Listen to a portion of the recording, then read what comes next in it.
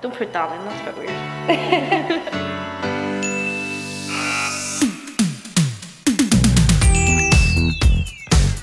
Away. Home?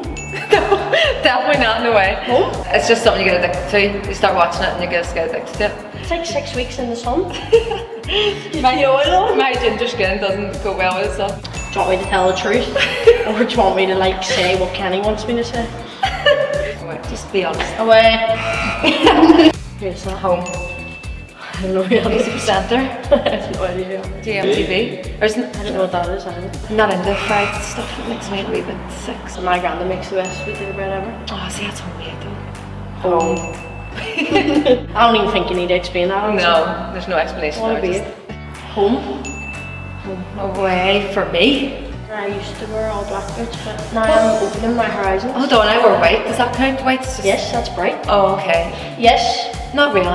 and the bells are ringing out for Christmas Day. Jingle bells, jingle bells. Jingle all the way. Chicken thighs. Chicken thighs all the way. This is a dream order, a grilled chicken burger. Okay. No um, lettuce or tomato, because if you're going to eat out, you may as well just not eat.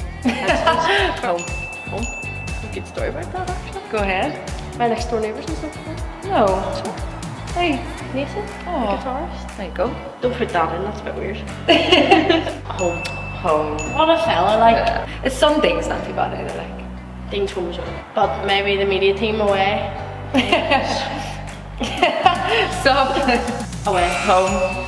Away. It's my roommate. That's my roommate. Away. She smelled her. No, I think you should come back and see on like next Tuesday we'll do this interview again and then you say to Marissa, then we can't and she'll say away.